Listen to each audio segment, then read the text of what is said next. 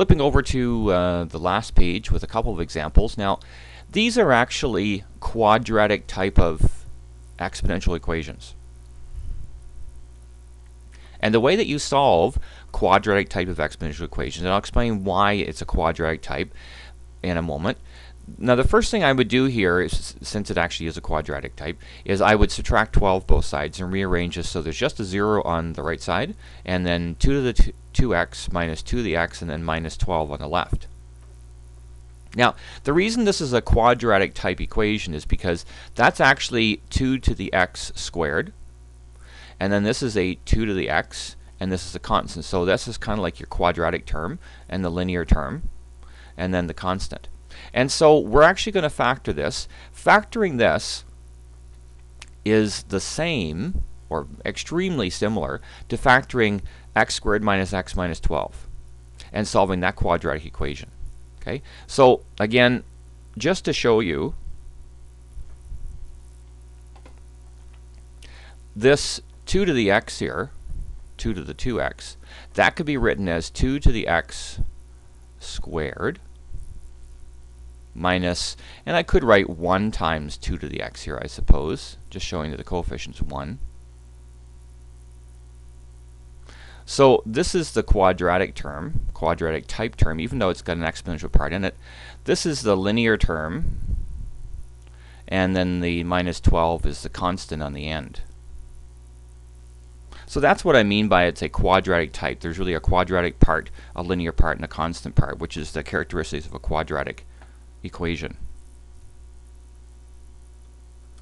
Now, in order to uh, factor x squared minus x minus 12, one way you can factor is look for two numbers that add to negative 1, because there's a coefficient of negative 1 places in front of this x here, and that multiply to negative 12.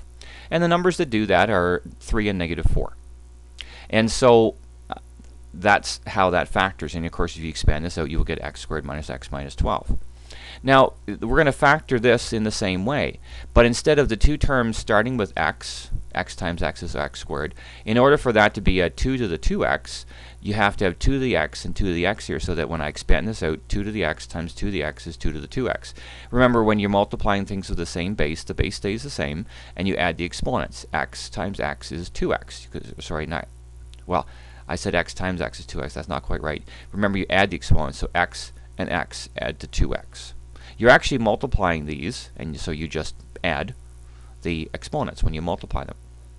Now, the coefficient is negative 1, just like it was here, and the numbers add to negative 12. So the same idea, it's still 3 and negative 4. So we would put a plus 3 and a minus 4, and it doesn't matter what order.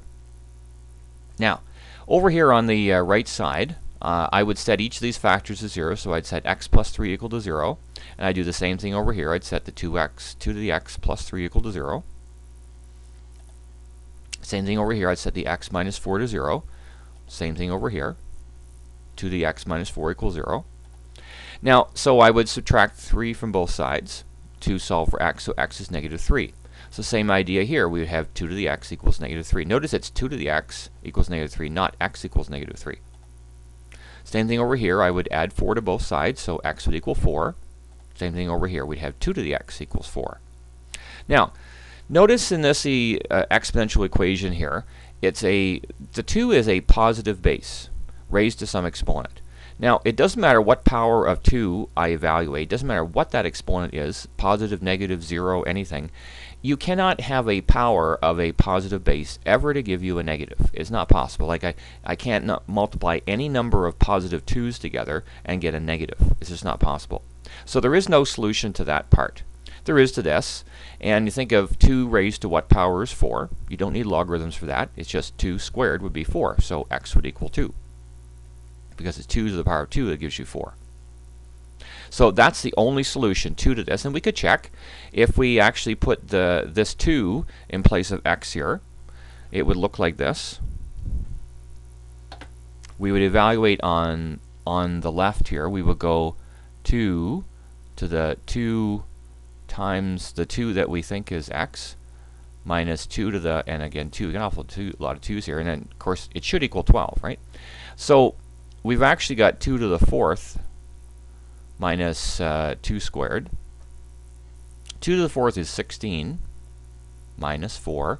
of course, gives us 12, what's on the right side. So it does check. That is the correct solution. Okay, last example here asks to solve 4 to the 2x minus 5 times 4 to the x minus 8 equals 0. Now, again, this is a quadratic type, but actually it won't factor like this one will.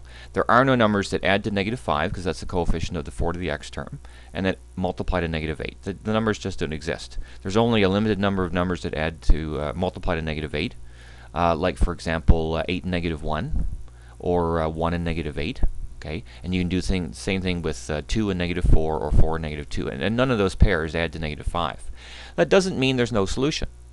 Um, when you have a quadratic equation you can't factor, you go to the quadratic formula, okay?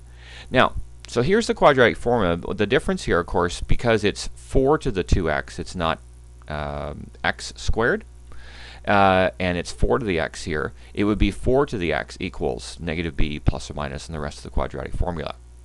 So you still fill in a and b and c the same way. a is 1 because it's 1 times 4 to the 2x. Uh, b would be negative 5 and c would be negative 8. So we fill those numbers in place of a, b, and c. And so we would uh, simplify this. Of course, negative negative 5 is 5. Underneath the root, uh, negative 5 squared is 25. And uh, negative 4 times 1 times negative 8 is positive 32. So we're adding 32 to 25. And of course, that's 57. So we'll write that over here. Now notice one thing I changed from here to here other than adding the 25 and 32 to get 57. Notice I just have a plus here. And the reason I dropped the negative is because if we had a minus here, if we did 5 minus the root of 57, it would be negative. Because the root of 57 is bigger than 5. In fact, it, see, it should be a little bit bigger than 7 because the root of 49 would be 7. So we went 5 minus that, we get a negative, and we'd have the same problem as here. We'd have uh, a positive base raised to some exponent is supposed to equal negative, and it can't. Okay, So we only do the 5 plus root 57 over 2. So I want to solve for x here, and x is in the exponent. So one last time, we'll use a logarithm.